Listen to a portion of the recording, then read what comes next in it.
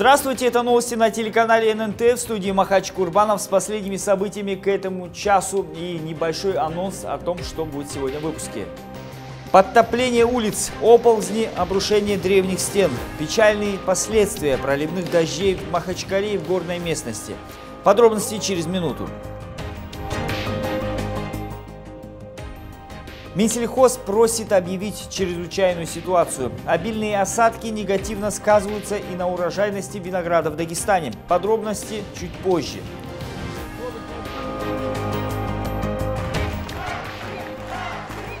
Десятки тысяч фанатов в России, но самые преданные болельщики в родном Дагестане. Как ждали победу Абдул-Рашида Садулаева и ликовали на родине, расскажем в спортивном блоке.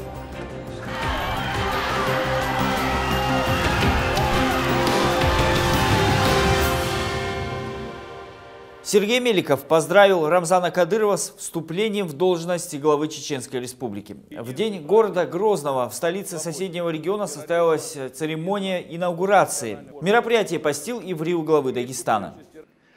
Ваше повторное выдвижение на столь высокий государственный пост убедительно свидетельствует прежде всего о беспрецедентной народной поддержке. И, конечно, что очень важно, о высокой оценке руководством страны успехов Чеченской Республики. Благодаря вашим профессиональным, деловым, человеческим качествам, личному мужеству, твердости, упорству, умению выстраивать работу и в бою, и в труде, были достигнуты большие успехи в социально-экономической, общественно-политической сферы, в вопросах обеспечения безопасности.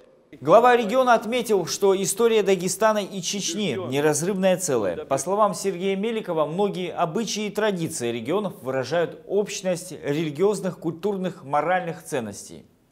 Народы Дагестана и Чеченской республики веками были рядом. И в горе, и в радости.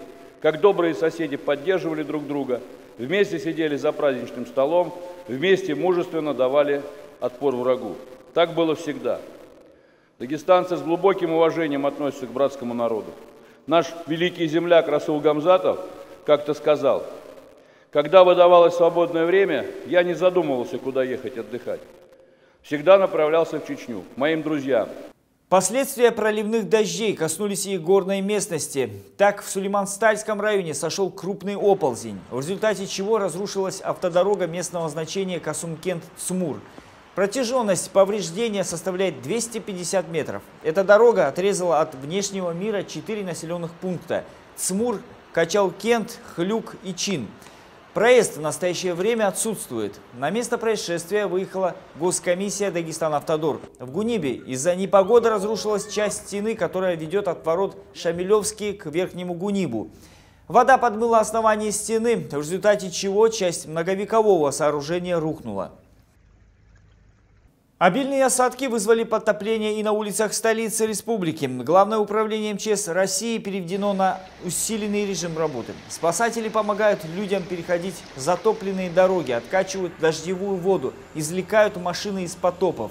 Сложная ситуация остается на улице Бибулатова. Информация о пострадавших не поступала. Причиной наводнений также стала неисправность ливневых канализаций. В связи с продолжительным выпадением осадков на территории Республики Дагестан, Главное управление МЧС России по Республике Дагестан и МЧС Дагестана переведено на усиленный вариант несения службы. На все поступающие обращения граждан оперативно реагируют группы Главного управления и МЧС Дагестана. Спасателями оказывается своевременная помощь населению. Информация о пострадавших не поступала.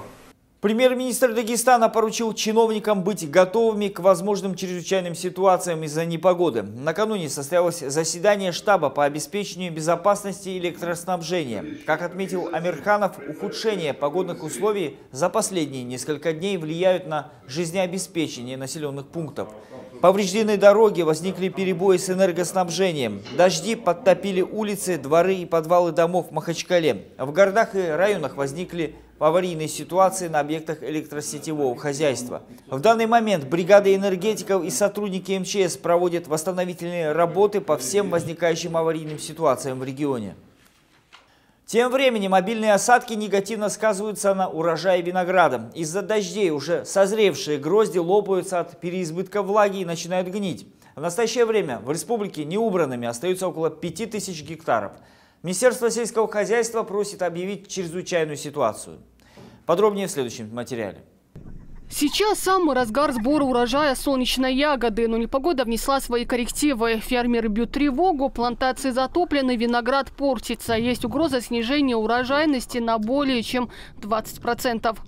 Возможности огромные здесь, в Дербенском районе, только, ну что сейчас дождь, никто здесь, конечно, не виноват. Вот здесь сосорок. Вот она гниет, да. который здесь лопается. Ну, конечно, будет. Вон, все, уже 15 дней, 10-15 дождей. Сейчас в Дербинском районе мобилизовали силы для экстренного сбора винограда. Помимо работников сельхозпредприятий, к делу привлекли свыше 500 студентов колледжей. Еще остается собрать более 30 тысяч тонн винограда. Таких тоже у нас 70 гектаров. Это-то не беспокоимся. Погода, если восстановится, мы соберем. Так что, вот это ну жаловаться Кому-то там этот говорит нельзя, это природа спорит. 600, 500, 600 тонн в день собираем, а что надо делать? По программе мы должны были закончить.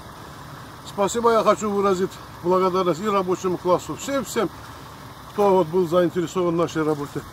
Плантации осмотрели представители власти. По данным экспертов, неубранными остаются 3000 гектаров виноградников в Дербенском районе, 1000 гектаров в Каякенском районе и около 400 гектаров в Табасаранском. Масштабы ущерба предстоит оценить. В настоящее время местные республиканские власти приступили к подготовке документов, подтверждающих факт чрезвычайной ситуации.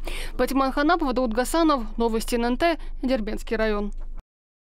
Минобрнауки Дагестана рекомендовала школам со среды перевести учеников первых-четвертых классов на дистанционное или электронное обучение до 10 октября. Речь идет об общеобразовательных организациях, которые располагаются в муниципалитетах республики с неблагоприятными погодными условиями. Соответствующие письма, подписанные в Рио министра образования и науки республики Яхьей Бучаевым, направлены главам муниципалитетов и директорам школ – в них говорится, что это решение принято в целях обеспечения безопасности жизни и здоровья детей. Завершен монтаж пяти новых модульных котельных в Дербенте. Работу проинспектировал Рустамбек Пирмагомедов. Объекты заработают до начала отопительного сезона в этом году. В них установлено современное итальянское оборудование с автоматизацией всех процессов. Данный механизм позволит существенно снизить потребление энергоресурсов. У вас уже тесная работа должна быть непосредственно с ТСЖ-компаниями, управляющими компаниями, чтобы подача тепла в дома жителей нашего города, она была на 100%. Ремонтные бригады тоже, чтобы были готовы, чтобы сразу реагировать. У вас есть операторы, которые должны быть прикреплены каждый к новой котельной с учетом того, что они пришли, настроили и заодно показывают, как они должны работать, на что обращать внимание. Пять новых котельных заменят две старые, которые обслуживали до 85% потребителей. Кроме того, параллельно ведется замена теплотрасс, проложено свыше 18 километров. Преимущественно теплотрассы прокладываются под землей, что позволяет освободить дворы и улицы от портящих внешний облик труб. Сам работаю около 30 лет, и я никогда не видел, чтобы какие-то вложения в эти котельные делались. Это только вот в прошлом, в этом году вот большие вложения в руководство города сделало это предприятие. Спортсмены из дагестанских огней посетили Муфтия Республики. В состав делегации вошли воспитанники и директора спортшкол. Гости отметили огромный вклад муфтията в облагораживание нравов населения, в том числе прививая благие качества через спортивные мероприятия. Шейх Ахмад Афанди отметил, что считает жителей дагестанских огней одними из самых благодатных людей. Духовный лидер в завершении встречи обратился к спортсменам с наставлениями. Молодому человеку энергию нужно куда-то тратить. Некоторые люди это тратят в войне с телефоном, там он внутри, живет в телефоне, как это последнее время модно. И я думаю, человек, который занимается спортом, от этих проблем, проблем зависимости, он спасен, я так считаю. Очень много видел вышел, ну, вживую было, не было возможности встретиться с муфтием. И вот сегодня, благодаря нашим братьям Шарфудину, предоставилась такая возможность встретиться с, нашим, с нашей делегацией. Я директор спортшколы города Гагни. Вот мы все наши тренера приехали, некоторые спортсмены тоже. Впечатление просто ну, описать словами трудно. Борец Абдул Рашид Садулаев пятый раз выиграл чемпионат мира. В финале турнира в Осло двукратный олимпийский чемпион взял верх над американцем Кайлом Снайдером. Схватка завершилась со счетом 6-0. Отмечу, для спортсменов эта встреча стала уже четвертой по счету, где в трех из них дагестанский вольник праздновал победу. Триумф Садулаева помог сборной России выиграть первое общекомандное место, обойдя сборные США и Ирана. Помимо танка, медаль высшей пробы выиграл еще один наш земляк Магомед Мурат Гаджиев. Представитель Польши впервые в своей карьере стал лучшим в весе до 70 килограмм.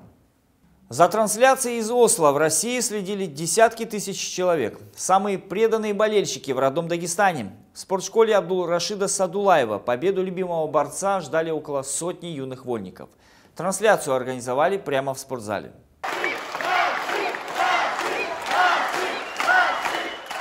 Вот так юные болельщики реагируют на каждое удачное действие своего любимца. Абдул-Рашид Садулаев уже в четвертый раз встречается с Кайлом Снайдером. Сомнений в победе ни у кого нет, но градус напряжения высок. В атаку танк пошел во втором периоде. При счете 6-0 зал буквально взорвался овациями.